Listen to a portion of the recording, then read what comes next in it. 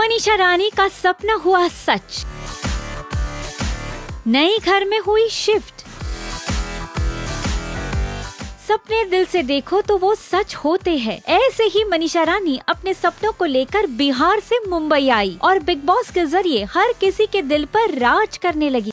One BH के flat में रहने वाली मनीषा रानी और बड़े अपार्टमेंट में हो गई है शिफ्ट। जिसकी झलक उन्होंने अपने YouTube चैनल में दिखाई। मनीषा अपने पुराने घर में करीब डेढ़ साल से रह रही थी। लेकिन अब जब कामयाबी हाथ लगी है तो मनीषा अपने परिवार को हर सुख देना चाहती है। डालिए मनीषा के पुराने और नए घर की तस्वीरों पर एक नज़र।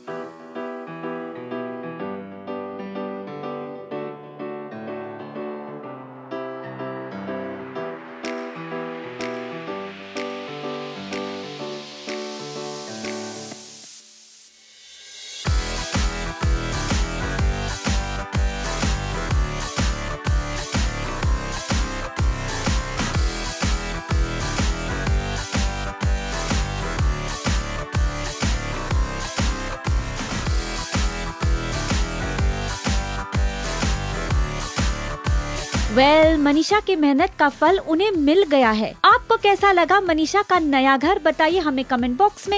And also do follow like and subscribe to Telly Masala on Facebook Instagram and YouTube